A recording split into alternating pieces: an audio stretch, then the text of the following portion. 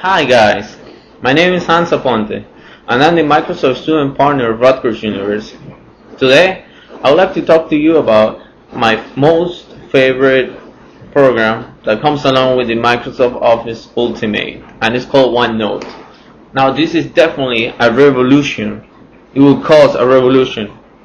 Not an actual revolution, but will definitely cause uh, a great change how do you take notes. Now, this is what one, Microsoft OneNote is. It's like a virtual notebook where you can take your notes, you know, like in a regular notebook. But on top of that, you got different different options. Like you can change the color of your pen just to uh, to or uh, to organize your notes. Like make comments. You want to make some comments, or or you want to stress something out that is going to come in the exam you know, just select a different color like red. And, uh, and you don't have to carry like 10 different pens around with you on your notebook.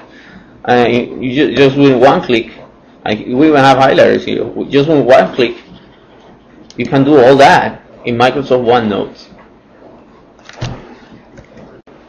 And last but not least, let me go back here to this um, class that I had my PowerPoint presentation on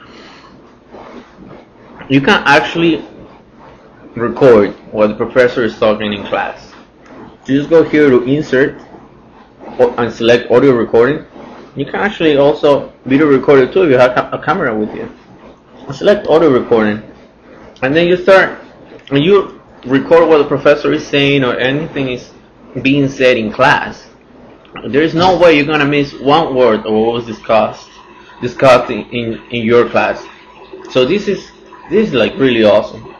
And just to finish, and to finish my presentation about Microsoft OneNote, we're to also share all these notes that you have taken and everything with it with your friends or just you know to have it as a in your records. So you go to File and and select Publish as a PDF because I usually save it as a PDF file, and just and and just uh, save it in your in your computer so then you can so then you can send it to your email and everyone else will see your notes.